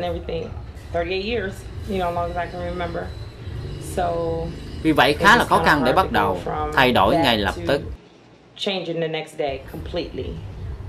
Tôi bắt đầu viết nhật ký trong 3 tuần đầu, ghi lại những cảm xúc suy nghĩ. Tôi cảm thấy như thế nào để người khác không thấy lo lắng khi phải trải nghiệm điều tương tự. Trong suốt chặng đường, Sandera nhận được sự giúp đỡ tận tình từ bác sĩ Einstein cùng vợ ông bà Anne. Họ vẫn giữ liên lạc và họ hay nói Chúng tôi vẫn chưa quên cô đâu Và chúng tôi biết rằng họ nói sự thật. Tôi cảm nhận được từ trong tim mình. Một ngày nọ tôi đi mua sắm. Tôi bỗng thèm ăn bánh sandwich Và tôi định mua một cái sandwich thực viên Trong ngay lúc đó tôi nhận được một cuộc gọi Từ vợ bác sĩ Einstein. Cứ như thế là hãy là họ biết khi đó tôi đang yếu lòng. Bà đã nói hứa với tôi là cô sẽ không ăn bất kỳ thứ gì từ quầy ăn nhanh siêu thị. Tôi lạnh cả người vì bà. Gặp tôi ngay vào lúc đó. Rồi tôi đi về mà không mua cái bánh sandwich thịt đó. Quý vị thấy đấy trong lúc tiến sĩ Campbell đang công bố nghiên cứu Trung Quốc, bác sĩ Einstein đang thu được một số dữ liệu thuyết phục từ một nghiên cứu tiến hành vào năm 1985. Ông bắt đầu với 24 bệnh nhân, nhưng 6 người bỏ cuộc trong năm đầu, nên chỉ còn lại 18 người. Vào cuối năm thứ năm, chúng tôi tiến hành chụp TX và 11 người trong nhóm đã hết biểu hiện bệnh, không còn dấu hiệu tiến triển bệnh và 4 người trong số họ có dấu hiệu khỏi hẳn bệnh. Kết quả này thật đáng kinh ngạc. Chế độ ăn uống đã làm được nhiều điều mà thuốc men và phẫu thuật chưa từng làm được, thực sự chữa lành bệnh đau tim. Cơ chế sinh học dẫn đến việc chữa lành bệnh này tập trung vào hành động mạch và tĩnh mạch. Tế bào endothelial những tế bào này thực sự là lớp áo choàng bảo vệ của mạch máu ở những người trẻ thanh niên khỏe mạnh. Những tế bào endothelial của họ xếp vào phẳng ra có thể có diện tích tương đương với 6 hay 8 cm. Năm 1988, các nhà khoa học khám phá ra rằng tế bào endothelial sản sinh ra khí nitric oxide. Vậy khí nitric oxide làm được gì? Khí nitric oxide làm cho máu lưu thông dễ dàng và không bị tắc nghẽn nó cũng giúp nới rộng mạch máu bị hẹp trong lúc vận động cơ thể và giảm sự tụ máu. Và quan trọng hơn cả, nitric oxide có tác động rất lớn giúp ngăn ngừa tình trạng viêm thành mạch máu. Tuy nhiên, nhiều thí nghiệm khoa học đã chứng minh được rằng khi chúng ta bắt đầu theo chế độ ăn uống phương Tây, các tế bào endothelial bị tổn thương khi bạn sống đến năm 40 hay 50 hay 60 tuổi. Và bạn đã phá hoại gần hết lượng tế bào endothelial trong cơ thể. Bạn không còn nhiều tế bào endothelial như xưa nữa. Bạn có thể chỉ còn một phần tư như vậy là quá trình ít để bảo vệ bạn.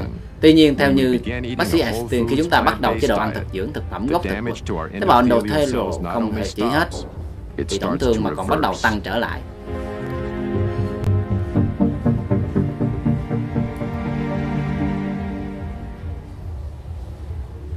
Khoảng 5 năm từ khi tiến hành nghiên cứu, Einstein thực hiện một thay đổi nhỏ nhưng rất quan trọng trong thực đơn của bệnh nhân.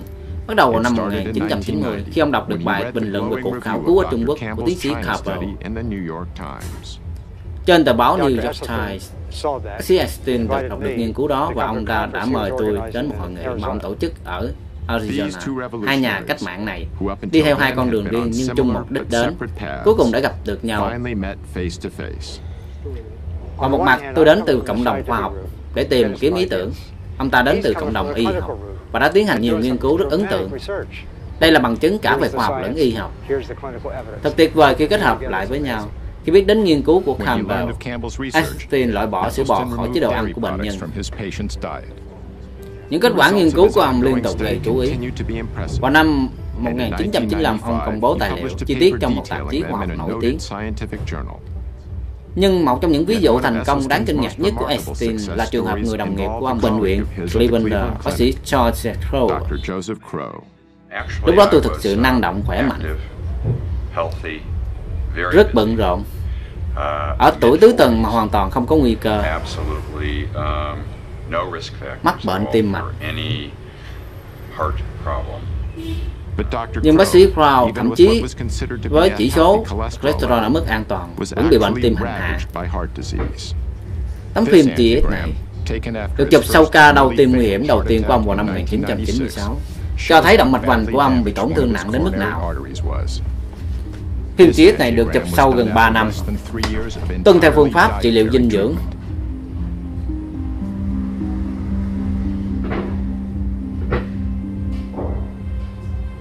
Crow là trường hợp may mắn. 25% những ca đau tim mạch vành gây tử vong ngay lập tức. Tất cả 18 bệnh nhân của bác sĩ Einstein đều sống thêm được 12 năm. Đến nay 14 người vẫn còn sống. Sau hơn 20 năm kể từ khi nghiên cứu bắt đầu, Tính tình bác sĩ Einstein luôn dễ chịu. Thế nhưng, một khi bạn nói tôi sẽ tham gia chương trình này và tôi sẽ tuân theo chế độ ăn uống này, thì bạn phải tuân theo còn không thì cửa ra ở đằng kia bạn không được lựa chọn. Ý tôi là ông rất hay cười. Nhưng ông cũng rất nghiêm túc và nhờ đó mà tôi vẫn còn sống đến hôm nay. Nhưng mà bạn biết đó, ông là một con người rất tuyệt vời. Và khi tôi nhìn vào những tấm hình chụp nhiều năm trước, 20 năm trước, nhìn tôi có vẻ già hơn bây giờ. Chỉ có điều là tóc tôi ít hơn hồi đó. Anthony và những người bệnh nhân nam khác cũng nhận thấy những thay đổi khác nhau. Khi bạn còn là thanh niên, khi bạn còn trẻ, bạn dễ hứng khởi khi gặp phụ nữ. Và phản xạ cơ thể đầu tiên đó là Bạn biết đó Tôi hay gọi vui là dựng cờ Tất cả đàn ông trong số bệnh nhân đều cảm nhận được. Uh, uh, Tôi hay chọc họ là lũ chuột làng. Uh, Đến nay cờ vẫn còn dựng. Gặp bác sĩ để khám bệnh liệt dương, quả thật xấu hổ và bất tiện. Nhưng vẫn là điều đáng phải làm. Tôi là bác sĩ chuyên khoa niệu và đã hành nghề được 25 năm. Rối loạn cương dương thực ra là dấu hiệu lâm sàng đầu tiên của các bệnh tim mạch nói chung Rối loạn cương dương báo cho bạn biết rằng, mạch máu và nội mạc của bạn đang có vấn đề nghiêm trọng. Không lâu sau sẽ là đau tim hay đột quỵ. Chúng ta cần phải dừng việc xem cơ thể như nhiều bộ phận rời rạc không liên quan đến nhau. Máu đi đến khắp nơi trong cơ thể. Nếu bạn bị mắc bệnh mạch máu ở bất kỳ nơi nào, thì khắp cơ thể cũng bị ảnh hưởng. Bất kể sự thành công rõ ràng của phương pháp trị liệu thực dưỡng, một số nhà phê bình vẫn cho rằng ăn uống kiểu này là cực đoan. Với chế độ ăn uống kiểu phương Tây hiện nay, chúng ta đảm bảo được gì đây? Ở đất nước này, nửa triệu người mỗi năm sẽ bị mở lòng ngực để lộ quả tim đập rồi những mạch máu cắt từ dưới chân lên bị đem nối vào tim. việc này mới thực sự là cực đoan. Bác sĩ Einstein đến nay đã chữa trị thành công. Cho hơn 250 bệnh nhân tim mạch. chỉ bằng phương pháp trị liệu thực dưỡng. bệnh tim mạch theo quan điểm của tôi chỉ là con hổ giấy không răng. Không bao giờ đáng tồn tại. và nó nếu có tồn tại thì cũng không bao giờ đáng phát triển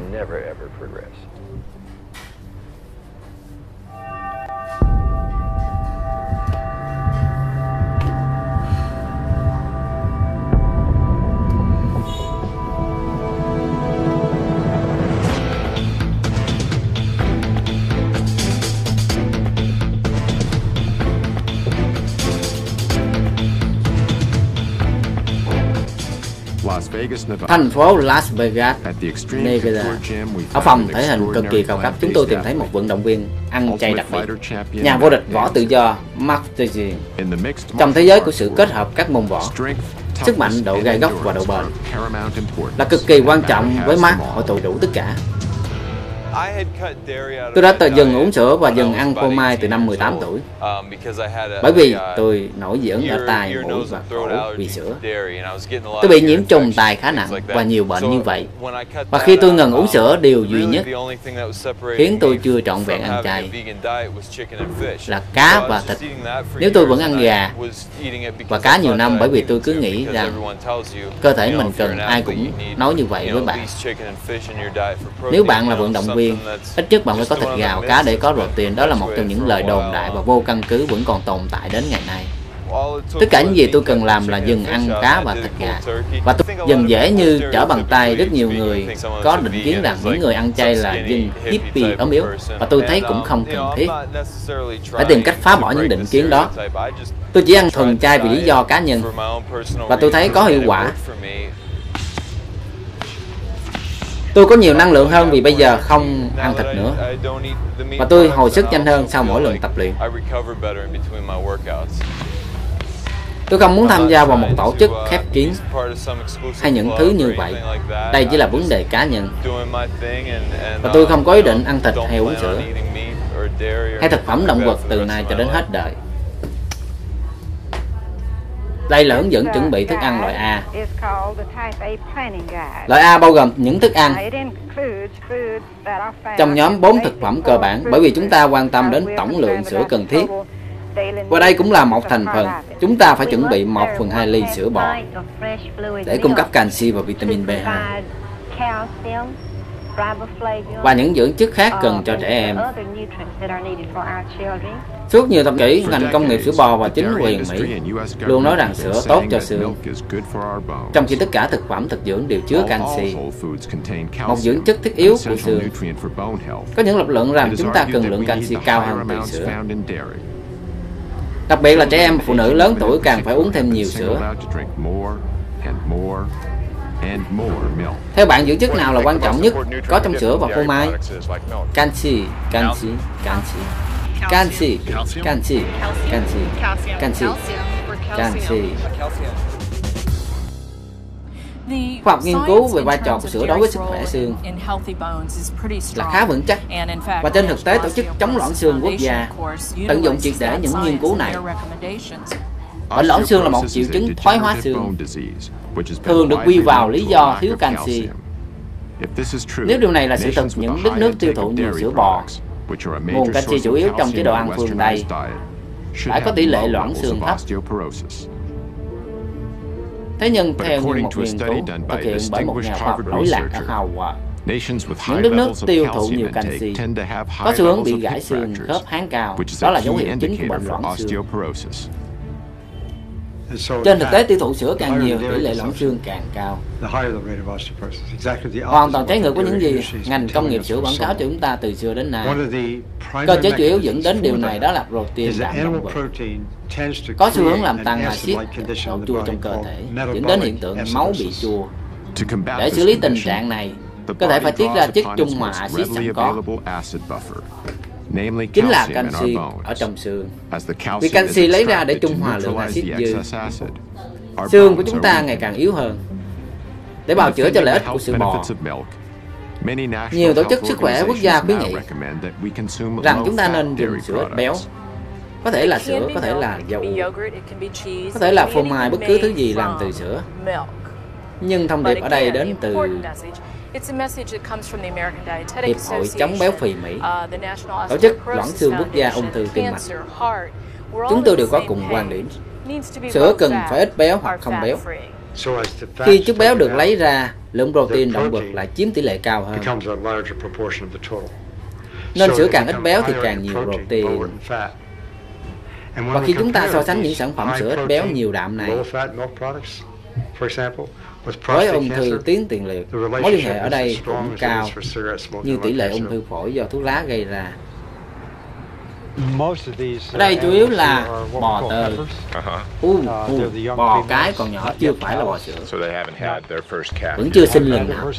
Bò phải mang thai và có con để có sữa. Và một khi bò cái có sữa, người ta làm cho bò cái liên tục mang thai trong suốt 3 hay 4 năm. Tại sao những con bò này lại ăn cỏ bây giờ? Bởi vì đây là ăn cuối cùng trong đời. Những con bò này được nhìn thấy cô kể từ khi sẽ bị nhốt trong chuồng và phải đứng cho đến chết.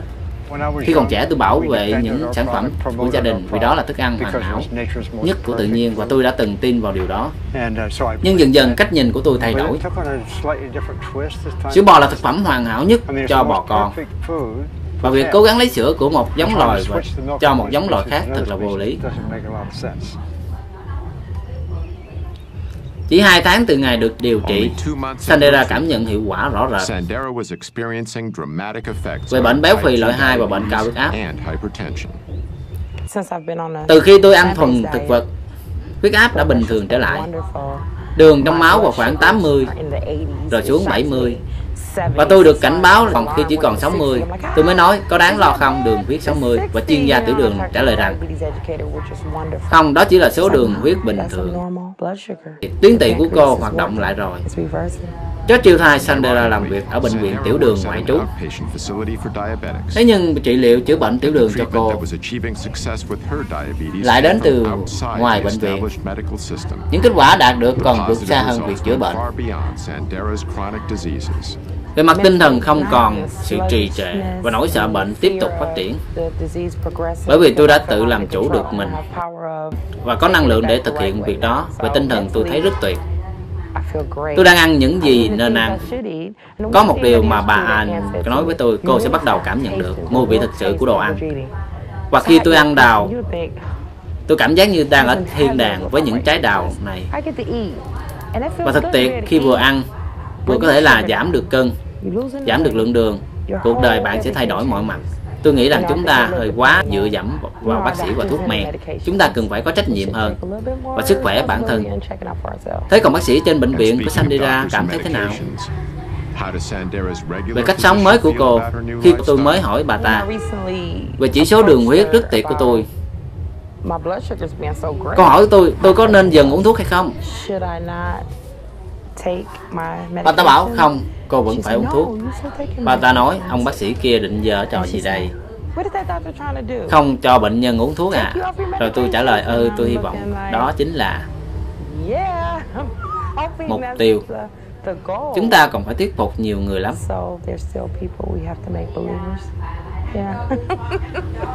Jenny và Jim ăn sáng vào khoảng 7 giờ. Đây là bữa ăn sáng với đủ thức ăn căn bản. Hôm nay họ có sữa ngũ cốc, trứng luộc và cam. Họ đang khởi đầu ngày mới đúng cách. Cơ quan chịu trách nhiệm Định hướng dinh dưỡng cho người Mỹ là Bộ Nông nghiệp. Bộ Nông nghiệp giúp xác định những loại thức ăn dùng cho tất cả mọi người kể từ binh lính đến chiến trường cho đến trẻ em trong căng tin. Những hướng dẫn này cũng được dạy trong trường học, định hình thói quen ăn uống của trẻ em cho đến hết đời. Bác sĩ David Schofield là một chuyên gia nhà dinh dưỡng học đồng thời cũng là lãnh đạo chương trình dinh dưỡng quốc gia thuộc trực thuộc Bộ Nông nghiệp Mỹ. Chúng tôi đã đưa ra khuyến nghị dinh dưỡng từ hơn 100 năm trước. Trước cả khi khoa học khám phá ra vitamin và khoáng chất, sau đó chúng tôi đặt ra các nhóm thức ăn và nhóm 4 cơ bản và nhóm 5, nhóm 7, nhóm 12. Các nhóm thức ăn biến đổi cùng với phát triển của khoa học, có lẽ nhóm thức ăn phổ biến nhất là nhóm 4 cơ bản được giới thiệu vào năm 1956 với tên gọi thức ăn để khỏe mạnh là nền tảng của giáo dục dinh dưỡng hơn 30 năm qua. Nhóm 4 cơ bản định hướng cách ăn uống cho cả một thế hệ Mỹ. Nhóm 4 cơ bản được thay thế vào năm 1992 bằng tháp thức ăn rồi nâng cấp lên thành tháp thức ăn của tôi. Những hướng dẫn này khuyến nghị 3 ly sữa bò mỗi ngày và thịt vẫn là nguồn protein quan trọng. Theo như tháp thức ăn của tôi, một bé gái 15 tuổi sẽ có thực đơn mỗi ngày bao gồm một tô ngũ cốc với sữa ít béo và một ly nước cam ép đóng hộp cho bữa sáng. Bánh quy vị phô mai để ăn vặt. Một bánh hamburger phô mai với một lát bánh mì cùng khoai tây chiên và coca cho bữa trưa. Bánh puri sô cô la và nho cho bữa xế và đậu cô ve đóng hộp cho bữa tối với kem ít béo để tráng miệng. Với cách mà chúng ta đang cho trẻ trong trường học ăn như hiện nay thì cũng không có gì đáng ngạc nhiên khi tỷ lệ trẻ béo phì lại cao đến như vậy. Bác sĩ Neil Barna là một nhà nghiên cứu y tế và chủ tịch ủy ban y đức bác sĩ. Khi một học sinh lấy khay đồ ăn từ căng tin trường, bạn có thể nhìn thấy cả chính sách của liên bang ở trong đó. Có bánh hamburger với phô mai, sữa bò thì được trợ giá cao, nhưng rau củ và trái cây thì gần như không có. Điều này là vì những hợp đồng chính phủ đều thuộc về nhà sản xuất thịt và các nhà sản xuất khác. Những hợp đồng này chẳng có liên quan gì đến sức khỏe trẻ em. Tất cả đều vì mục tiêu lợi nhuận của các tập đoàn nông nghiệp và chăn nuôi. Bộ Nông nghiệp Mỹ thực ra là tổ chức đại diện của người nông dân. Như vậy cũng không sao. Nhưng tổ chức đại diện đó không thể ủng hộ. việc chính phủ trợ giá cho người nông dân được. quản lý thực phẩm trợ giá cây trồng. rồi quay lại và nói được rồi chúng ta sẽ quy định những gì mọi người nên ăn họ sẽ quy định những gì chúng ta nên ăn để làm lợi cho thành viên của họ làm lợi cho nông dân chứ không phải làm lợi cho cộng đồng. Năm 1998 tổ chức của Bana khởi kiện bộ nông nghiệp cứ mỗi 5 năm chính phủ lại thay đổi. hướng dẫn dinh dưỡng cho người dân mọi người xem đó như tiêu chuẩn ăn uống. để có sức khỏe tốt. Đội ngũ đưa ra hướng dẫn dinh dưỡng gần 11 người. 6 trong số họ có quan hệ tài chính trực tiếp với ngành công nghiệp thực phẩm. điều này thật thiếu khách quan. có nhiều điều luật rõ ràng cấm họ. hành động như vậy. họ đã vi phạm tất cả chúng tôi kiện họ ra tòa. Và chúng tôi đã thắng kiện nhưng vẫn không thay đổi được việc những chính sách họ đưa ra tiếp tục thiên vị cho ngành công nghiệp chăn nuôi. Tôi không cho rằng việc ngành công nghiệp chăn nuôi có liên hệ với các nhà khoa học là sai. Vì nếu ngành công nghiệp chế biến thịt thắc mắc về sản phẩm của mình thì họ nên tìm đến những nhà khoa học giỏi nhất. Nếu những nhà khoa học giỏi nhất tư vấn cho ngành công nghiệp thực phẩm, tôi vẫn muốn những người giỏi nhất trong cộng đồng đưa ra tư vấn dinh dưỡng. Mâu thuẫn lợi ích về kinh tế cũng chỉ là một loại mâu thuẫn lợi ích. Có nhiều người dành trọn sự nghiệp của mình để chứng minh rằng ăn thuần chay là tốt cho bạn. có thịt đỏ thì gây hại cho sức khỏe. Họ không có liên quan đến ngành công nghiệp nào nhưng họ cũng bị bướng vào mâu thuẫn lợi ích. Chúng ta hay hình thành định kiến cá nhân. bản thân tôi cũng từng có định kiến nhưng đến một thời điểm trong sự nghiệp, tôi gặp những kết quả mâu thuẫn với những gì tôi từng cho là đúng. Rồi tôi tự phê bình và tự nhìn nhận lại bản thân. Suy xét lại thật kỹ lưỡng về thay đổi góc nhìn. Tiến sĩ Carpel đã phải trả giá cho việc thay đổi góc nhìn. Ông bị bởi quản lý trưởng trong trường đi trong khi ông là nhà nghiên cứu hàng đầu và đã kêu gọi được hàng triệu đô la tiền đầu tư cho Viện Nghiên cứu Dinh dưỡng ở Đại học Cornell, một khóa học dinh dưỡng nổi tiếng của ông. bị trưởng viện nghiên cứu hủy. Ông trưởng viện này là nhà tư vấn cho ngành công nghiệp sữa. Nhiều người thấy rằng hành động này thật bất công và vi phạm tiêu chuẩn của quyền tự do học thuật. Tiến sĩ Campbell cũng chứng kiến sự chi phối mạnh mẽ của các tập đoàn. đối với những nghiên cứu áp dụng để phát triển chính sách dinh dưỡng của chính phủ một ví dụ ông đưa ra là trường học ở Học viện Khoa học Quốc gia danh tiếng. Tòa nhà đằng sau lưng tôi là trụ sở quan trọng nhất của khoa học khu vực trong cả nước. Đây là nơi các nhà khoa học tham gia thảo luận về những vấn đề thời sự và xác định cách áp dụng khoa học để đưa ra chính sách nhà nước. Trước ngày, khi tôi còn tham gia, những ủy ban này được tài trợ chủ yếu bởi tiền công. Nhưng những năm gần đây, Tôi thấy nhiều tiền từ các nghiệp đoàn hơn, đầu tư vào những hoạt động này.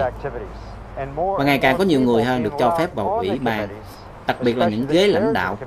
Và tất nhiên họ có thể chọn người nào mà họ muốn để dễ dàng thông qua các quyết định. Điều này thật không đáng xảy ra. Và tôi chắc rằng công chúng sẽ rất thất vọng khi biết được rằng ảnh hưởng của họ lớn đến mức nào.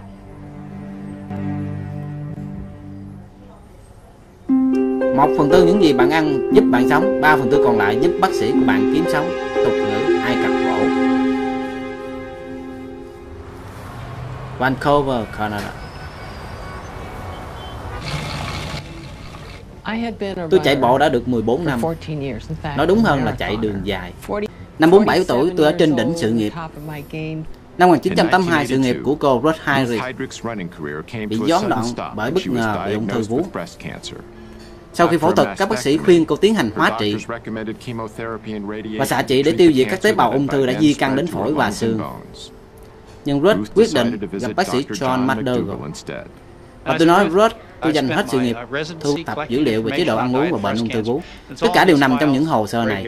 Cô ngồi đây và đọc hết đi, và cho tôi biết cô nghĩ gì. Ông nói, đây là những nghiên cứu cho thấy chế độ ăn uống có thể chữa lành ung thư vú. Rồi cô đọc xong và nói, được rồi, tôi sẽ thay đổi cách ăn uống. Và cô đã làm được. Bác sĩ hướng dẫn tôi ăn đúng cách. Không dầu mỡ thêm nhiều trái cây, rau củ và ngũ cốc. Sau đó Rod bắt đầu luyện tập cho trẻ chạy bộ ba môn phối hợp, bao gồm chạy đường dài, đạp xe đường dài và bơi lội. Tôi quá đam mê, tiếp tục chạy không nghỉ ngơi, cộng với bơi lội và đạp xe, và còn thêm tập tạ. Lúc đó ai cũng nói, cô điên à. Cô là bệnh nhân ung thư, cô cần phải nghỉ ngơi. Bác sĩ cũng bảo vậy, tôi cảm thấy thật tuyệt. Tôi thấy khỏe mạnh và tôi muốn duy trì tình trạng sức khỏe đó. Tôi chắc rằng nếu mình có một cơ thể khỏe mạnh và ăn uống đúng cách, tôi có thể đánh bại ung thư. Tại giải chạy bộ ba môn phối hợp, Ruth đã giành được huy chương vàng nhờ tuân thủ chế độ ăn uống. Bệnh đau khớp của cô biến mất, bệnh táo bón cũng biến mất, dầu cũng biến mất, không có dấu hiệu trầm cảm. Triệu chứng thường có ở bệnh nhân ung thư. Tôi như được tái sinh tràn đầy sức sống. Tôi là nhân chứng sống cho thấy chế độ ăn uống quan trọng hơn chúng ta nghĩ. Mầm, nhiều phụ nữ khác chiến thắng ung thư vú, ung thư ruột kết, ung thư bàng quang. Nhiều người bị ung thư di căn khắp cơ thể nhưng phục hồi toàn diện nhờ trị liệu thực dưỡng. Ung thư không phải là dấu chấm hết của cuộc đời nhiều người đã vượt qua được. Cô Ruth đã làm được. Tôi vẫn tiếp tục chạy đua. Vẫn tập luyện mỗi ngày. Có bao nhiêu người đến tuổi 70 mà vẫn chạy ba môn phối hợp? Không có nhiều đâu. Điều này thắp hy vọng cho tất cả chúng ta bạn sẽ không chỉ khỏe mạnh mà còn đánh bại căn bệnh nguy hiểm nhất và bắt sưu tập huân chương.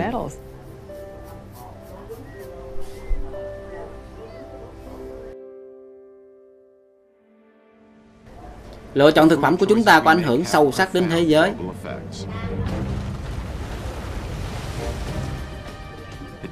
Tổng năng lượng hóa thạch dùng để sản xuất ra cùng một lượng calo từ thực phẩm động vật, cao hơn gấp 10 lần so với từ thực phẩm thực vật.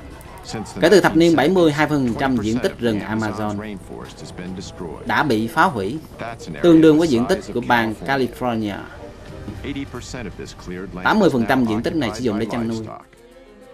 Lượng thóc lúa để làm thức ăn cho gia súc trên thế giới là đủ để nuôi sống 8,7 tỷ người, nhiều hơn 2 tỷ so với dân số thế giới. Với gần 1 tỷ người suy dinh dưỡng, trên toàn cầu chỉ cần chuyển một lượng nhỏ thóc lúa đang dùng để bổ béo gia súc là đủ để cứu tất cả mọi người đói trên thế giới. Đối với Gene Power, những yếu tố như trên, cộng với lòng tôn trọng động vật, đã khiến ông chuyển sang ăn thực vật.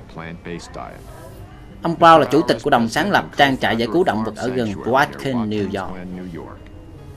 Nơi đây là thiên đường an toàn cho những con vật đã bị vứt bỏ hay ngược đãi. Lúc nhỏ, tôi cũng ăn động vật như hầu hết mọi người. Nhưng khi tôi bắt đầu cân nhắc về lựa chọn thực phẩm cá nhân, tôi nhận ra rằng mình không muốn ăn thịt động vật và càng học hỏi nhiều tôi càng thấy bản thân khỏe mạnh hơn khi không ăn động vật. Và dấu chân để lại trên trái đất của tôi cũng nhẹ hơn. Ngành công nghiệp chăn nuôi là nguyên nhân chính gây ra hiện tượng nóng lên toàn cầu chứ không phải ngành công nghiệp vận tải.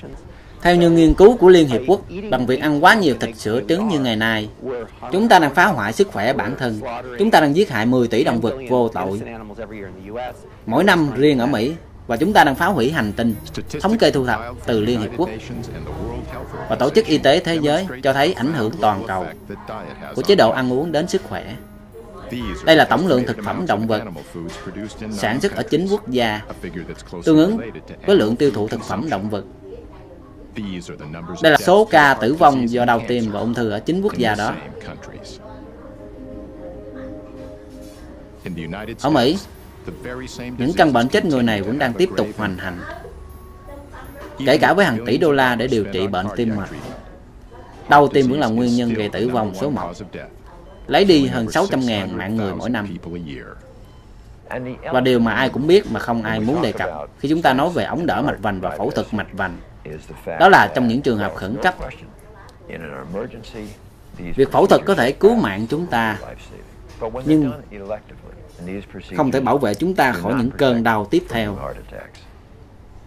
Ống đỡ mạch vành và phẫu thuật mạch vành chỉ điều trị được mảng xơ vữa lớn trong động mạch. Tuy nhiên, theo như nhiều nghiên cứu,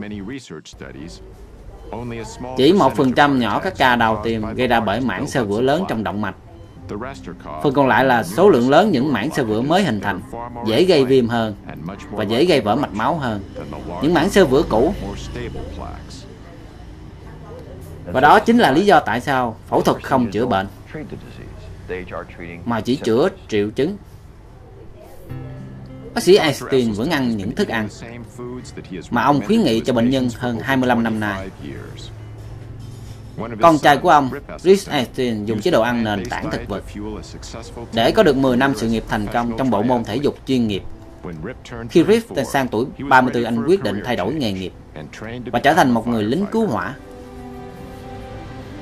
Austin, Texas. Rip được phân công về đội số 2 ở Austin, Texas. Môi trường ở đây cực kỳ cạnh tranh và chúng tôi hay đánh cược với nhau. Một đêm nọ chúng tôi cá cược với nhau một chầu nước để xem ai có chỉ số cholesterol thấp nhất. Sáng hôm sau chúng tôi đến phòng khám để nhận kết quả. Và chúng tôi phát hiện ra anh J. Tên thật là James Ray à, có chỉ số cholesterol 344. Đó là cholesterol ở ngưỡng chuẩn bị gặp thần chết. Và cả đội cứu hỏa đã nhất trí cùng nhau. Chuyển sang chế độ ăn thực vật ngay ngày hôm sau. Để cứu James và cứu động mạch vành của anh, họ nhất trí thay đổi chế độ ăn uống của cả đội cứu hỏa. Nhưng Texas bỏ thói quen cũ thật khó bỏ. Ăn thịt gần như là một môn thể thao ở Texas. Vài người bạn của tôi thành lập những đội nướng thịt. Đó là thể thao cuối tuần của họ. Người Texas rất mê nướng thịt. Texas, Kansas.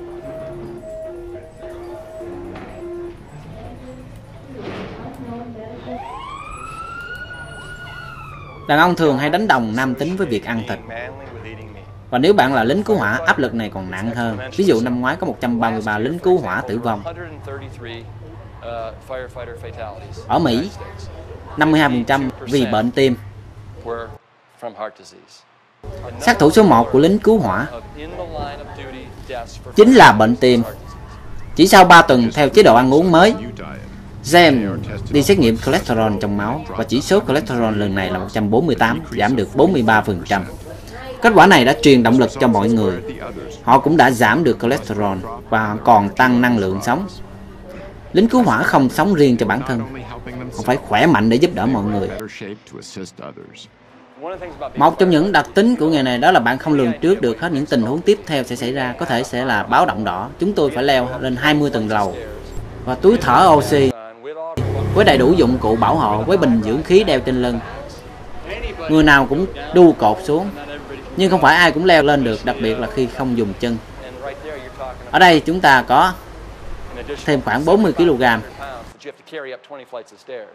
Điều này đòi hỏi độ dẻo dai tuyệt vời cùng với sức mạnh. Đàn ông đích thực ăn chay.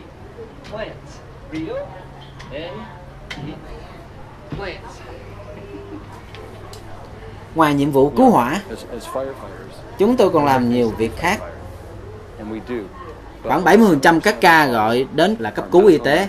Chúng tôi phải sơ cứu người bị bệnh tim, cao huyết áp, tiểu đường, tiếp thai, béo phì nặng. Và chúng tôi tận mắt chứng kiến sự hủy hoại xã hội đang gây ra bởi chế độ ăn uống kiểu Mỹ. Với tôi, câu trả lời thật quá đơn giản, đây là tội ác. Mọi người cần phải bắt đầu tự chịu trách nhiệm về sức khỏe của bản thân và ăn nhiều thực phẩm nguồn gốc thực vật hơn.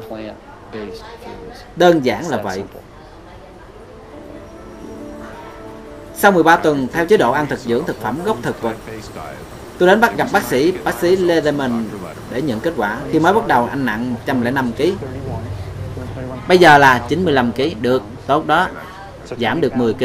Wow, huyết áp của anh ở mức 142 trên 82 khi mới bắt đầu. Còn bây giờ là 112 sẽ 70. Wow, giảm thật nhiều. Huyết áp như hiện nay là tốt, huyết áp của anh sẽ tiếp tục giảm. Nếu như anh giữ vững chế độ ăn uống. Khi mới bắt đầu, mạch của anh ở mức 92. Bây giờ chỉ còn 60. Được rồi, tốt lắm. Tổng lượng cholesterol giảm 241 còn xuống chọn 154. Cái gì? What? Ừ, điều này thật tuyệt. 241 xuống còn 154. 154. Ừ, đúng rồi, 154. Và chỉ số LDL. Đây là kết quả ấn tượng nhất. Giảm từ 157 xuống còn 80. Không đời nào. thực tiệt khi chỉ số LDL giảm một nửa. Và chúng ta làm xét nghiệm CRP lần trước để đo độ viêm của tim và mạch máu. Và CRP của anh đã giảm từ 6 xuống còn 2,8 không cần đến thuốc men. Tôi đã giảm hẳn nguy cơ mắc bệnh đau tim và nhiều bệnh khác. Ngày mai là tròn 20 tuần theo chương trình này. Tôi đã giảm được 20 kg. Tôi hết bệnh tiểu đường. Tất cả mọi người đều rất tự hào về thành công của cô. Tôi không còn lệ thuộc thuốc men nữa. Tôi có nhiều năng lượng hơn lúc trước. Các con tôi mừng lắm. Tôi nhỏ lúc nào cũng tự hào về mẹ. Có câu châm ngôn mà tôi luôn mang bên mình hơn 2 năm qua. Hãy thắng cuộc chiến này. Đừng vì bại trận một lần mà kết thúc cuộc chiến. Nếu có suy sụp và đầu hàng cám dỗ vẫn không bỏ cuộc. Hãy đứng dậy ngay nơi vấp ngã. Không phải ngày mai mà ngay bây giờ. Bệnh tiểu đường không còn tái phát. Tôi sẽ không cho phép nó tái phát và căn bệnh béo phì nữa. Thông điệp ở đây là bạn hoàn toàn làm chủ cuộc đời bạn. Joy alcohol hàng tá bệnh cộng với tiểu đường tuyết 2. Nhưng sau 22 tuần ăn thực phẩm nguồn gốc thực vật, tình trạng sức khỏe của anh đã thay đổi rõ rệt. Hai, anh khỏe không? Lại gặp bác sĩ rồi, anh khỏe hơn nhiều. Anh giảm được 13 kg. Tinh thần anh tốt hơn lúc trước. 26 trong số 27 than phiền về sức khỏe đã biến mất. Dấu hiệu viêm mạch máu giảm xuống mức bình thường. Chỉ còn đường huyết, chỉ số đường huyết cũng giảm, thậm chí là đã giảm mỗi ngày. Và sẽ còn cải thiện hơn. Chỉ số cholesterol thấp hơn đáng kể so với khi mới bắt đầu. Huyết áp bây giờ là bình thường so với huyết áp lúc còn phải uống thuốc. Huyết áp vẫn tiếp tục tăng. Và anh phát biểu rằng anh chưa bao giờ cảm thấy khỏe như bây giờ. Ở hai tấm hình này nhìn anh bây giờ khỏe mạnh hơn trước nhiều. Như tôi nói với anh từ trước, tôi đã giải thích ý nghĩa của những chỉ số với việc đánh giá đúng tình trạng sức khỏe. Ở đây không chỉ là những con số mà có thể cải thiện tuyệt đối về tấm ảnh này của anh thật tuyệt. Tôi đã từng phải uống 9 viên thuốc và chích hai mũi vào bụng mỗi ngày. Tôi cũng từng phải chi 150 đến 200 đô la mỗi tháng cho tiền thuốc, vượt quá tiền bảo hiểm. Những gì tôi làm trong 5 tháng qua giúp tôi tiết kiệm được 800 đến 1.000 đô la và tôi không cần uống và chích thuốc nữa. Điều này vừa tiết kiệm cho tôi, vừa tiết kiệm cho công ty bảo hiểm. Chính phủ Mỹ cho biết 75% lượng tiền chi cho chăm sóc sức khỏe là để chữa các bệnh kinh niên. Nguyên nhân đều là do cách ăn uống và sinh hoạt. Hãy loại bỏ những nguyên nhân này bằng cách loại bỏ những thức ăn gây hại sức khỏe.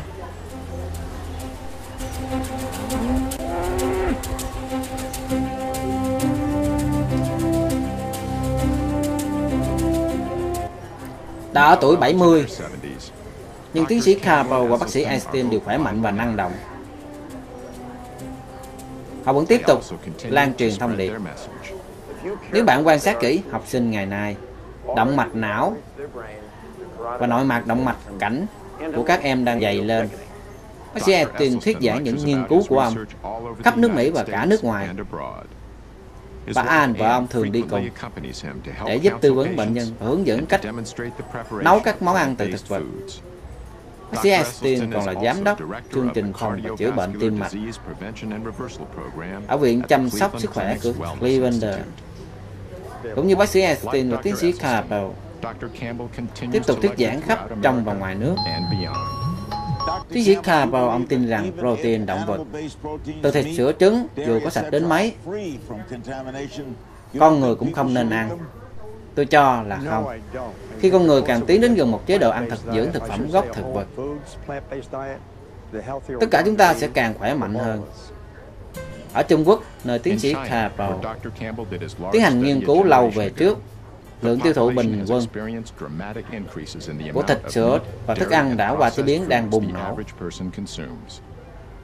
Cùng lúc đó, tỷ lệ mắc các bệnh chết người cũng tăng vọt. Nhiều người Trung Quốc ngày nay có tư tưởng giống như người Mỹ về dinh dưỡng. Ăn thịt để cung cấp đạm và có lợi nhiều cho sức khỏe.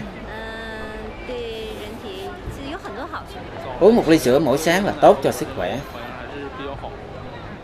Thông điệp của tiến sĩ Campbell đang thức tỉnh nhiều người khắp thế giới. Cảm ơn quý vị, cảm ơn, cảm ơn. Nhờ vào những nỗ lực của hai nhà tiên phong này, cùng các cộng sự hàng ngàn người đang nhận ra rằng việc cải thiện chất lượng sức khỏe và cuộc sống là hoàn toàn trong tầm tay. Bạn có hai lựa chọn. Bạn có thể ăn mà không suy nghĩ để mang bệnh tật và chết sớm. Hoặc bạn có thể ăn để sống sót, sống lâu và sống khỏe. Và đó là con đường của chế độ ăn thực dưỡng.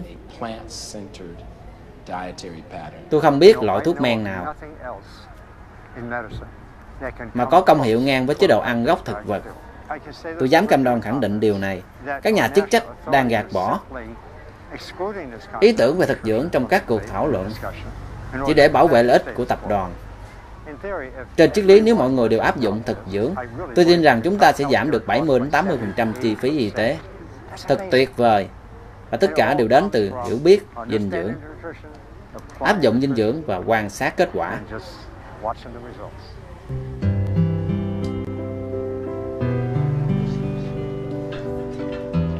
Món quà ý nghĩa nhất mà bạn có thể tặng cho bản thân và gia đình, không chỉ cho thế hệ này, mà còn cho cả con cháu.